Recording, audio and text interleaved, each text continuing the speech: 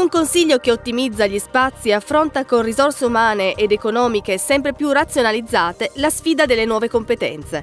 E questo in sintesi il ritratto dell'Assemblea regionale all'inizio della decima legislatura, presentato nel corso della consueta conferenza stampa di fine anno. I numeri ci dicono che negli ultimi anni e nella comparazione del bilancio preventivo tra il 2013 e il 2016 il Consiglio regionale ha imboccato una strada secondo me lodevole e virtuosa, sia da un punto di vista della trasparenza sia da un punto di vista di efficientamento delle risorse. C'è un'ottimizzazione ancora dal 2015 verso il 2016 che ha un importo di circa 3 milioni e poi un'efficienza su tutto, sia quindi sugli affitti, l'ottimizzazione e la valorizzazione degli spazi storici che ci ospitano qui, parlo di eh, Palazzo Lascaris, la dotazione organica che passa da 422 a 323, quindi circa 100 persone in meno con un aumento di competenze. E qui i complimenti a tutti i direttori, ai dipendenti a partire dall'ultimo usciere fino, fino al primo dirigente.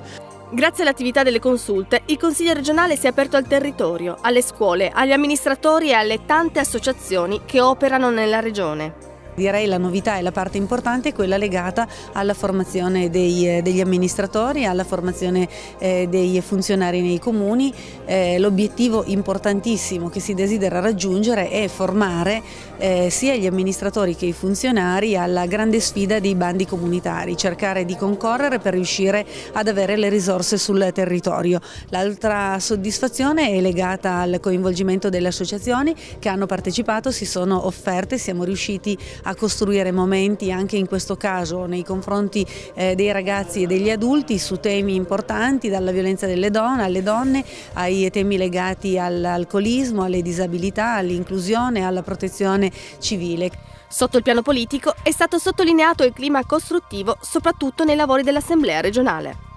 Mi pare che ci sia un atteggiamento e un clima completamente diverso i consiglieri regionali hanno tutti un'esperienza amministrativa, quasi tutti una buona esperienza amministrativa, hanno fatto i sindaci dei loro comuni, i presidenti delle province, la Gancia presidente della provincia di Cuneo, Sozzani della provincia di Novara, il Movimento 5 Stelle che non ha, diciamo, che non, non ha avuto ovviamente perché è nato da poco eh, esperienze amministrative, però sono tutti giovani che studiano e che, hanno, eh, che mostrano competenza e disponibilità al lavoro, questo ha consentito un, un clima all'interno del Consiglio in cui lo scontro non è praticamente esistito, in cui è esistito il confronto, la voglia di lavorare, ognuno naturalmente con la sua posizione e cercando di tirare l'acqua al proprio mulino, ma mi pare che in qualche modo sia stato il mulino dei piemontesi.